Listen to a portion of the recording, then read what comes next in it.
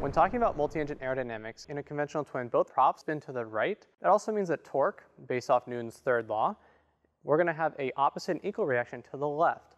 So if we have the left engine working and the right one is out, we have our asymmetrical thrust yawing us to the right. But we have the torque that's working to the left, banking us into that operating engine. Well, as you'll learn later in this course, banking into the operating engine helps with engine failures when you go through your training. Versus if the right engine was working and the left one wasn't. You have asymmetrical thrust yawing you to the left, and in addition, because of the torque moving to the left, that's going to roll you to the left.